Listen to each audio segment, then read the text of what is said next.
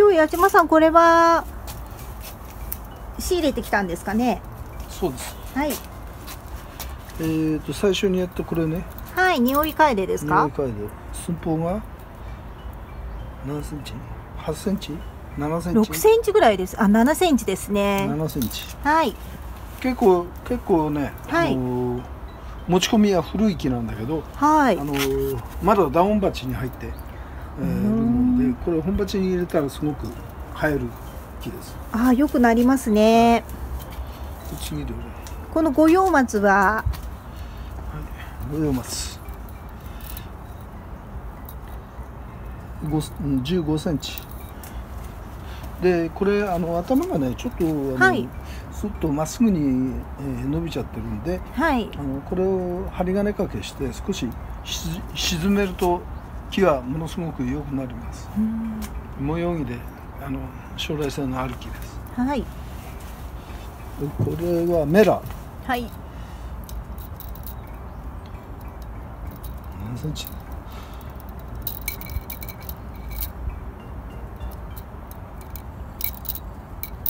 うか。はい。15これもすご15センチ。く幹肌が古さ感が出てますね、えー、30年ぐらいは経ってますね。わあすごいですね。これをこういう、はい。こういうあの植え付け角度でこのぐらいの植え付け角度で、はい。今今はこうなってるけどこれを植え付け角度をこのぐらいにして植えたらあの展示会に即使える、そうですね。来年の展示会には使えると思いますよ。はい。はい、えーとあとなんだっけ？これが楓とかですか？すごい真っ白ですね。この楓はね50年ぐらい経ってるんだよ。50年も経ってるんですか、このこのあの根を見てくださいよ。すごいですね、もう粘りが盛り上がってますもんね、10年ぐらい前に私売ってくれって言ったんだけど売ってもらえなかった。あお客さんに。あはい。で今日行ったら、はいクリスマスも近いことだから 売ってくれると言って売ってもらいました。うーん15センチ。ああすごくいいですね、粘りもあって。もう傷もないですもんね、そんなにね。50センチ50センチぐらい。あ50年ぐらいうん。経ってるんですよ裏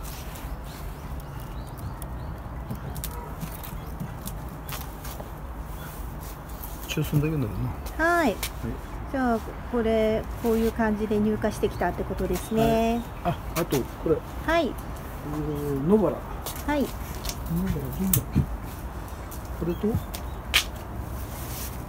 これが可愛いんだよほら。わあちっちゃいですね。ね。うん。小さくてさあのーこれをはい。あのー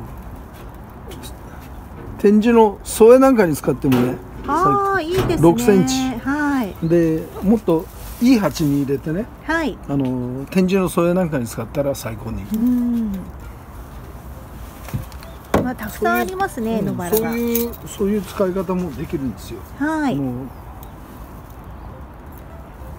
バラはね7センチ。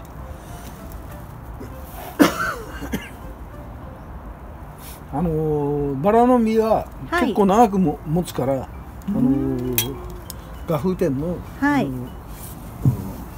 下草とかそういうのにも使えます。はい。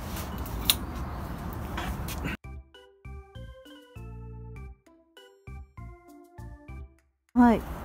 でこの間なんか質問にあったあの五葉松の、うん、と取り木五葉松の取り木は難しいっていう風なのが矢島さん言ってたじゃないですか、で結局今取り木をやってるらしくて、あのちょっと挑戦してみますっていう風な挑戦はい。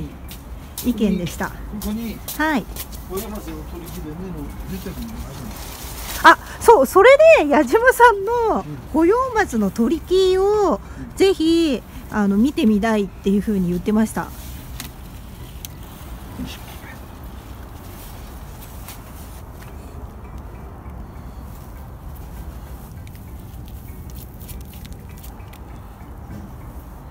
なんと。かなちょっ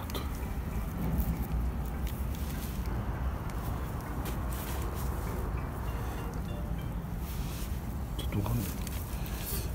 取り消したやつですか？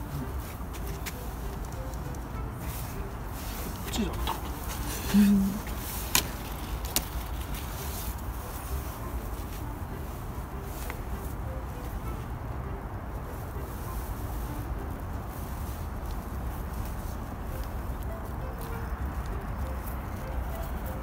わあなんか苔でこれでねはい。これで5年生ぐらい。これこれが根です、ああね生えてますね、うん。はい。あの取り木をかけて5年ぐらい。はあーまずねあ、はい。あのー気にして毎年毎年こうやってこうやって見てねまだでねまだでねっていうよりもはい。あのーこう肥料をこう乗っけてねはい。多めに乗せてこれだったら3つぐらいうん。乗せてそれでほっとくといいですよ。うん。忘れちゃうぐらいに。はいそうした方があのー取り木の根はあの出ますよ。うん。大体あの取り木を五葉松は取り木をする時期っていうのはいつ頃がベストなんですかね？あこれはね、はい。あのー春春に、はい。このなんていうんですか？根のその取り木をするその幹部にはい。針金で両方からギュッとこう縛って、うん。で水ごきを当ててそはい。のまま放っておく、うん。それで大丈夫です、今もう冬の時期になったじゃないですか。うん。いま、未だにこの肥料をずっと乗っけててもうんもう肥料っ気ないから。ああじゃあそのままもう肥料を外すことなくもう肥料の成分がなくなった状態だからこのままはそうです。置いてある流れなんですね。こういうのははい。取り木を取り木をはい。取ったものです。あ取り木を取ったものなんですね、うん、これ取り木を取ったもの。はい。これはいいつぐらいに取れたんですか？何年ぐらい前かな。はっきり覚えてないけど。はいあの仕事しなくちゃいけないなと思ってんだけど、うんなかなか仕事ができない、どの辺で取り木を？ここで取って。ああ、で取り木の場合ははい。根が根が出たらすぐ外すんじゃなくてはい、根が出てから1年た1年か2年経ってうん。あの根の数が増えてからあの外した方がいいですよ。うん。これもあの取り木あ太くなってますね、あこういう。のこういうのね、やっぱり本当に低い感じで迫力がうん。出ますね、だからこういううん。こういうところで切ってさはい。あの針金かけなくちゃいけないんだけど。この五葉松は何ていう種類なんですか？これはねナスゴヨうんじゃあ取り木をするんだったらナス御用とかの方がいいんですかうね、ん、あのねはい。僕はね時々ね、はい。いろんなものこの飽きるんですよ。うん。あの 長くやってると飽きが来るんです。はい、で御用もこのナス御用飽きましてね。うん、であのいくら作ってもその先がねなかなか見えてこないのでうん。じゃあ取り木しようって言うんでね。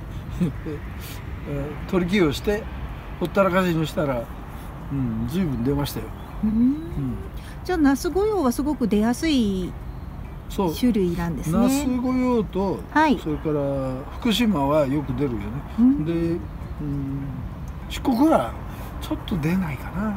うん。そういう感じ。はい